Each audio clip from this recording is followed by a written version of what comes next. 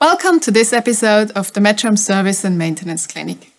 With me today, live from India, is Ketan. He has more than 15 years of experience as a service engineer with Metrohm. Welcome, Ketan. Thank you for having me. Ketan, the viewer and I, we know that the electrode is essential for the titration. But why is this the case? The electrode is in direct contact with the sample and during the titration, it detects the smallest changes in the reaction between analyte and titrant. These are then converted into the electric signals.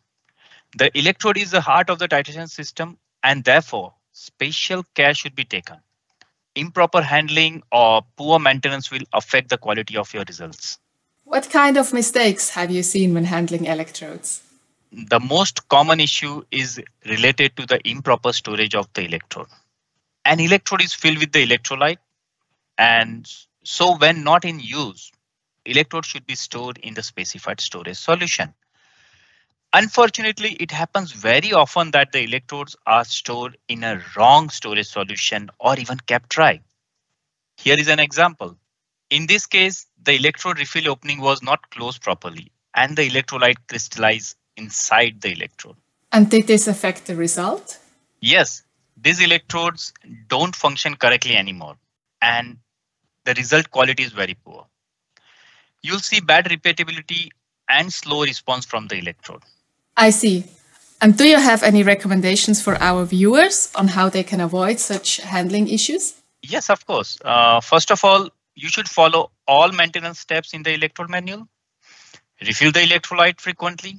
And most importantly, store the electrodes in a proper way. Before use, you should always inspect the electrode for scratches or any other damages. Is there anything else? As a part of a service visit, we can offer you to test the electrodes and give you an assessment whether the electrode performance is good, usable or poor with the proper documentation, of course. We then can give you the recommendation on how to improve the performance or recommend a replacement. Do you have any last tips for our viewers? Yes, of course. Sometimes the electrode is perfectly okay, but the titration result still does not look good. When I visited this one customer, I could spot that the electrode was positioned wrong in the titration cell, which resulted in very, very noisy titration curve. Actually, the electrode needs to be positioned downstream of the burette tip with regards to the stirring direction. After a quick check and the correction of the setup, the curve was looking much better. Therefore, always remember to check your titration cell setup. Thank you, Ketan, for all the tips on how to handle the electrode. Thank you. Now you know why proper care of your electrode is important. Thanks for watching and see you in the next episode.